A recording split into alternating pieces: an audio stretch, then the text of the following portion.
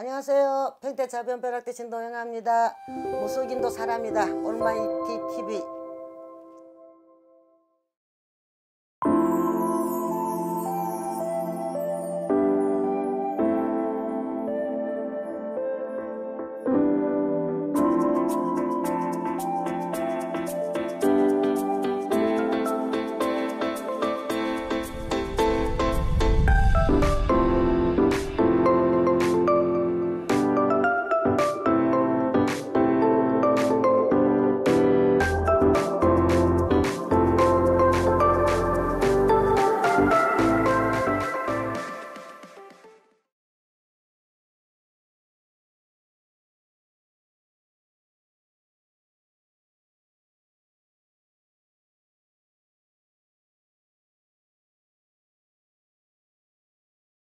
어, 죽은 남편이 따라다니는 젊은 여자였어요. 그때 이제 우리 나이랑 비슷한 또래의 여자, 젊은 여자였는데 어떻게 뭐 그 당시에도 간판도 걸어놓지도 안 하고 신 받은 지도 얼마 안 됐는데 찾아왔더라고요 집에 와가지고 점을 보는데 뭐 그 당시에도 뭘 누가 뭘 가르쳐주고 뭘 한 것도 없잖아요 그죠? 그렇게 애동이다 보니까. 그런데 이제 그 사람을 이렇게 딱 쳐다보니까 이게 영가가 뒤에 떡 서가 있는 게 젊은 남자가 보이더라고요. 그래서 그 여자를 쳐다보는 게 아니라 영가를 쳐다보면서 그 여자한테 이야기를 한 거예요.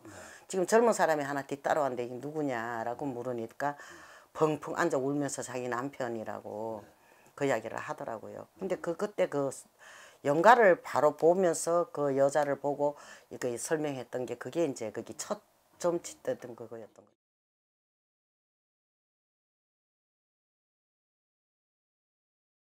이 대문에서 들었을 때부터 들어올 때 영가가 따라 들어오는 거하고 이게 자연적으로 보이고 알아요. 알게 돼요.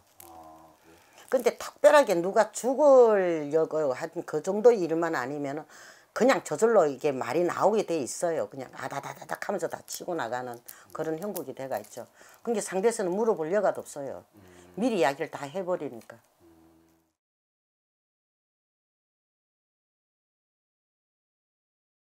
어, 그때도 지금도 그렇지만 그때도 그렇고 정해준 가격은 없었어요. 주는 대로 받는 거였거든요. 근데 주는 거는 받는데 이제 기본으로 얼마 정도는 줘야 된다는 거는 있었어요. 점사비에 대한 정의가 따로 있을까요? 아니요? 아, 그럼 예를 들어서 덜 주고 가요. 예, 그런 소리도 있어요, 간혹. 그- 그렇다고 해서 뭐 문제 되거나 아, 그렇지는 않아요. 아, 전혀 안 돼요. 전 상관없어요. 아, 그래요? 예, 어떤 데는 만 원만 주고 가는 분도 있고요. 뭐 어떤 데는 점사비에 뭐 따라서 뭐 점사가 정가가 더잘 아, 그건 상관없어요. 문제 없어요. 상관없어요.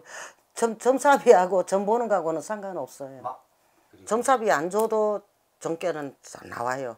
아, 그래요? 예, 점, 점, 점 사비 안 주고 가시는 손님도 있었어요? 있어요. 아, 그래요? 아, 괜찮아요, 근데요? 아, 그냥 봐주고 싶은 사람들이 있어요. 와가지고 네. 돈을 도로 내줘요. 아, 그래요? 네. 어.